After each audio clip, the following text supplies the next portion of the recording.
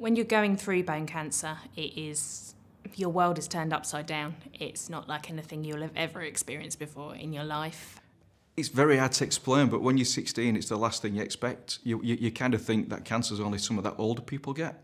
So to be diagnosed with cancer at 16 was a, a huge shock. The most emotional thing is I found was anger. Why me? Well, at the end of the day is why not you? I don't think you're ever going to know how you're going to feel until you're in that situation yourself. I think for me, I felt immense shock at being diagnosed um, at cancer at the age that I was. Um, but I also felt relief because for so long I'd been in so much pain. Um, I didn't know what was wrong with me, and I felt that I was going mad and that I'd been banging my head against a wall because it was very frustrating feeling that I wasn't being listened to by medical professionals. Clearly, getting a diagnosis of primary bone cancer is very difficult. Um, it's a very difficult time for someone who's affected, and it's a very difficult time for their families. Um, they're then faced with a diagnosis of cancer, they're faced with having to go through uh, long periods of drug treatment, often many months of treatment, and then at some point, usually in the middle of that treatment, uh, they stop to have an operation.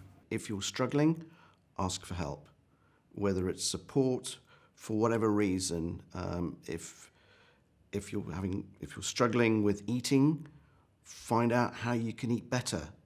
If you're struggling with drinking because you've got a mouthful of ulcers, find out how you can do it better.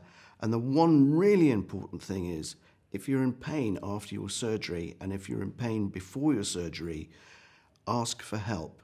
I've had to go through a lot of things, both physically and mentally. I mean, losing your leg to bone cancer, that's a major physical thing that'll just affect you for the rest of your life.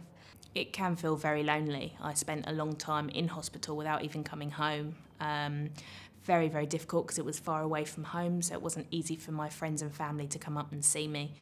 After my treatment, I felt physically absolutely shattered. I'd never known tiredness like it.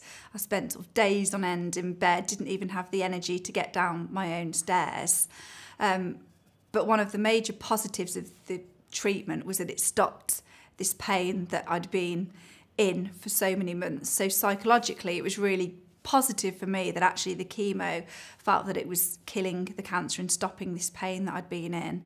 I think as time goes on and you start your treatment and things, you kind of learn to live with it a bit and it gets a little bit easier.